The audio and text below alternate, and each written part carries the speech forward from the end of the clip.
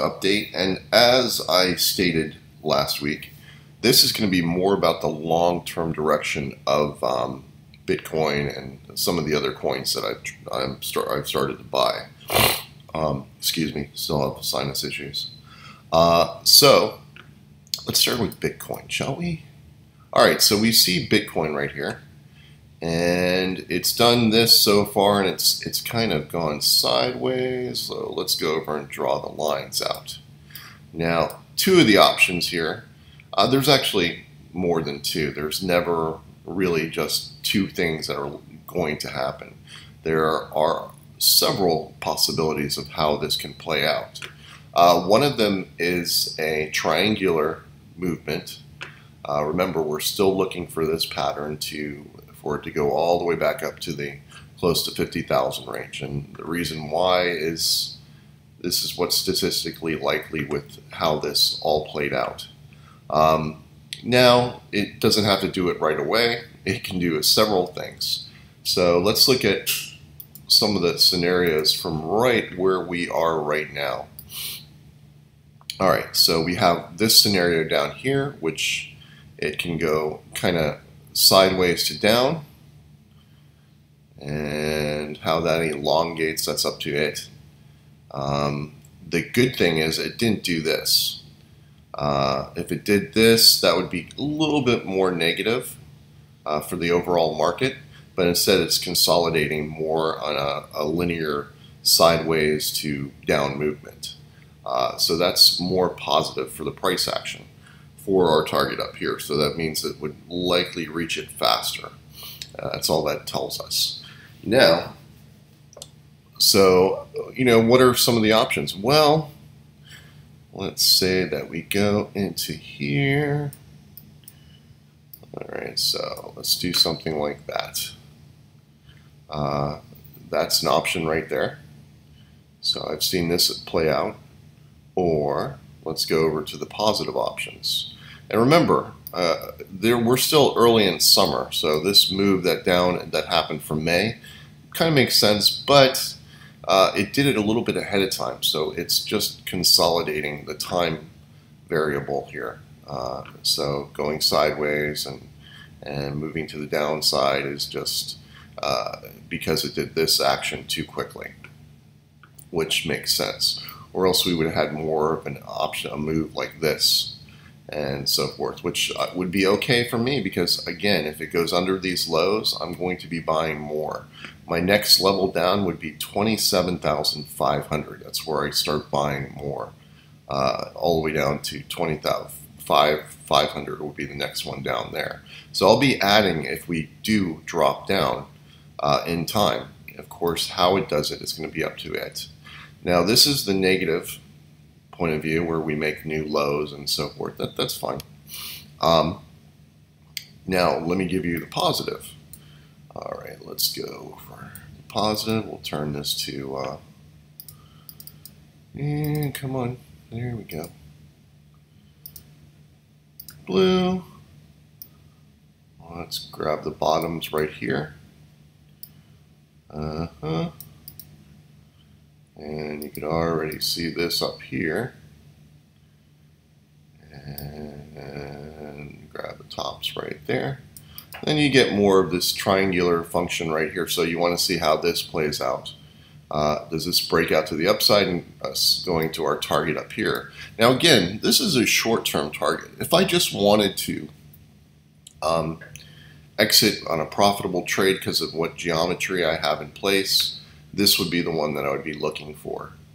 Uh, but, you know, not really interested. I want to kind of hold on to my crypto, and I'm more interested in the long term. But uh, the reason I'm doing this for you is because I've been asked, and people who want the short term perspective and care about all of this, uh, they can focus on this if they like. I might sell a little bit above here if I see something that pushes us back to the downside back to these numbers in the 30,000 range. Uh, but that's not been done yet. First, we have to hit here. It's going to be so. That's my focus is going to be on this before I make any decisions as to what to do. Uh, you know, I've been waiting a long time, many months, for this drop to occur, and You know, everybody's like, "Oh, new highs, new highs." Well, that didn't happen. That wasn't, you know, the the game plan. And um, now people are like, "Why? Why are we down here?" And you know, that's not the way markets work. Um, this was the most statistically likely thing to occur for us to pull back before we make new highs and continue upward. That's just that's what statistically was more probable. And I have to go off the probabilities. I can't get emotionally involved and try to think or whatever, you know. I go off the numbers. That's all there is. There's only the numbers, and you don't need to go over and get crazy. You just have to see things logically as they occur. And, you know, that goes right back to observe, plan, and execute, right? We don't have to be right or wrong. We just have to go over and pay attention to what happens most often and make the best trades from there. By doing that, again, I will repeat, is that you set yourself up to be a good trader. So you make good trades based off of what happens most often, and your judgment increases. You see more clearly, and you do a better job. And you know, it applies to anything. Anything that you do in trading, you can apply that right back to other, you know, stocks, to um, commodities, to short term, to long term. You know, you just have to understand to remember what happens most often and listen to the market because it will tell you. But the key is you have to listen. You can't do this nonsense about uh, reading articles or listening to people on CNBC because they have no clue. They literally have no clue. Usually, when they're screaming about something, it's the inverse because it's already happened, right? So when you get these big down moves and they're screaming about it, they screamed about this one, uh, then it bounces, right? So that's kind of the contrarian point of view of their their. They only do it when they get the most amount of views, which is usually at the peak of something. Um, so anyway, let's go back to the long-term projection. I gave you the short-term so we're either going to break out up here to here, or we're going to break down to there, and more than likely we'll do it in a slower fashion on the downside without a lot of interest, or we'll do it on a faster fashion on the upside uh, with more interest. Those are the likely probabilities, so we'll see which ones play out. And I really don't care because it's summertime. Um, this is consolidation. You you buy and you hold basically. Uh, and I'm not going to get rid of anything until we get above this 40, this mid 49,000 range. So keep that in mind. I'm completely bullish until we get above there. Um, now, let's go to the long term. All right, expand the chart out. Boom and you see what I'm looking for, and we got plenty of time. That's the biggest thing I want to um, make known to you is we have lots of time. And that's what I'm looking for. Nothing has changed, right? Nothing has changed here. I'm expecting expansion upwards. This is not, does not come across as a top at all. This is consolidation on a bigger, for a much larger move to the upside. And that's what I'll be looking at. Now, the time variable of which this happens within is going to be the, the thing that is going to be focused on more by me. Um, just making my projections. I have a very good idea of what's likely to occur, and this is the most um, likely scenario. So I'll just hold on to my crypto, and this is why I don't really want to sell anything when we get above that 49,000 area because I'm looking for continuation upward. And the minimum target is this right there. There's really nothing for me to do but wait and hold and wait, you know. Wait and hold. Hold and wait. Either of those. um, but you get my point there. All right, now for the portion of the update that you guys have asked for, let's go to our friends. You know, if we get this fulfilling with Bitcoin, right? What happens to things like Ethereum. Where do we go with Ethereum? Now, I want you to notice on Ethereum, the move on Ethereum was much faster and much, you know, I wouldn't say it was much bigger because if we look at a rational point of view uh, from where it went, right? So Ethereum's first high, way back here, was up to around 14K, All right. And this was back when I was shorting it. I had the Spanish cross over here, and we got the pullback all the way down to ridiculous numbers. That was under, you know, uh, well under 100. It was all the way down to the 80s and 70s. It was really great time to buy Ethereum. Uh, but look at the move here. Now, on a percentage basis, what did that go up? It went up a good amount, right? And it was um, equal to going to 4,200 or 4,400. It was basically equal to the Bitcoin move in a percentages. I want to see that. That is a big um, factor for me uh, on a percentage basis. I want to see equal percentages. Well, Ethereum did that, all right? Um, so Bitcoin went up from 20K all the way up to the 60K range, right? So what is that in terms? Think about that for a minute. So it went from 20 to 60. So it went actually tw twice its amount. Now, did Ethereum do the same thing? Well, let's go over and calculate it, right? What's 1400 and 1400 put together? 2800. What's 1400 and 2800? All right, so you see what I'm, I'm getting to here? You see how it's equal to the move, how Bitcoin, in relative terms. So the 60,000 range was twice. The 40, uh, 4,000 range was twice its old-time high. So that's equal to in what you get for the two. But notice the incline, the rate of incline, the speed at which Ethereum did this. So this had a lot of enthusiasm when it made its uh, spike up move. Um, so that's a good sign for it in the future. It might go a little bit over. You know, you might get some ridiculous thing like the flippening. This is kind of uh, uh, one of the things I look for in certain issues for real strength in them is the rate of incline and the the, uh, the angle, the arc that it goes at. And this has a very high arc. So in the future, when it does go back up, uh, it's likely going to have more power than Bitcoin and so forth. But it's still rationally two times, um, you know, 1400, 428 plus 1400, 4200. So, right? So, uh, you know, think about that. And it did that. And of course, uh, you know, every exchange uh, different. Some of them have it at 42. This one has it all the way up to 43. Um, but anyway, it did that, and uh, you know, and it, it it finally did it towards the end, where Bitcoin was still kind of on the low side. This had more enthusiasm. Um, so, but it equaled out, and that's my point, and that's what I wanted to say, and it, it did that. Now let's go over and take a look at Litecoin, which is number three. Now Litecoin did not do that. And one of the reasons why is because back when Lee had it, and he dumped all of his Litecoin when he got up to these levels. And Litecoin never made that breakout uh, above the old highs. And that's why I was saying this is such a good uh, trade back, you know, when I did the Litecoin versus BTC, which I rarely never do.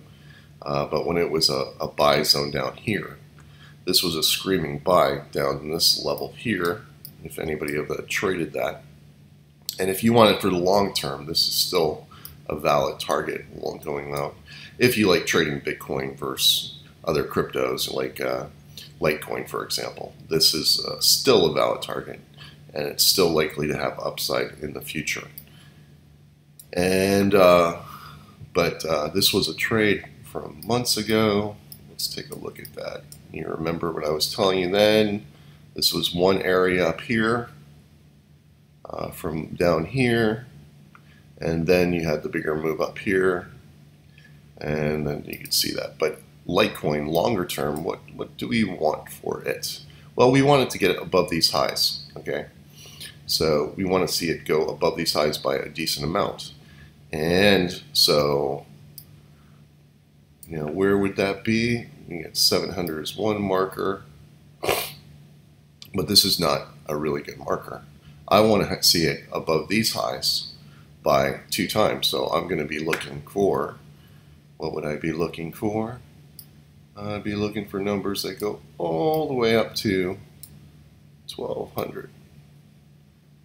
So in the future, I can see us getting to above 1200.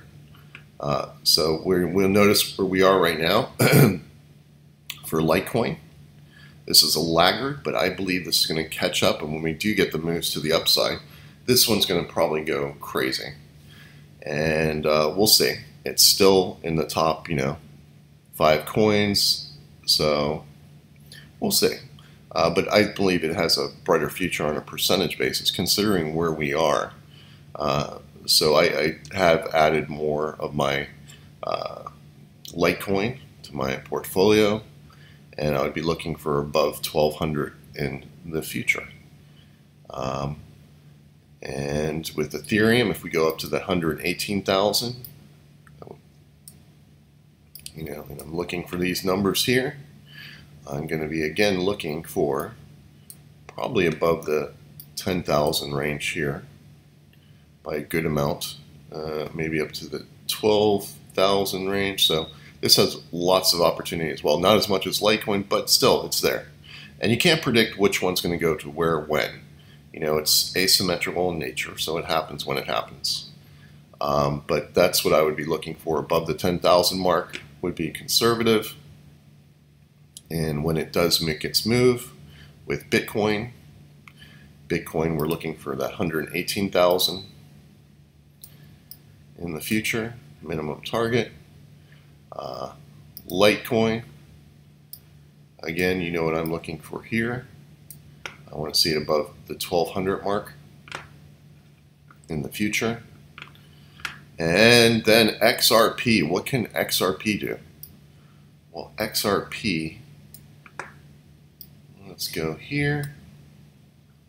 This has a long ways to go back up. It still has not breached its old high.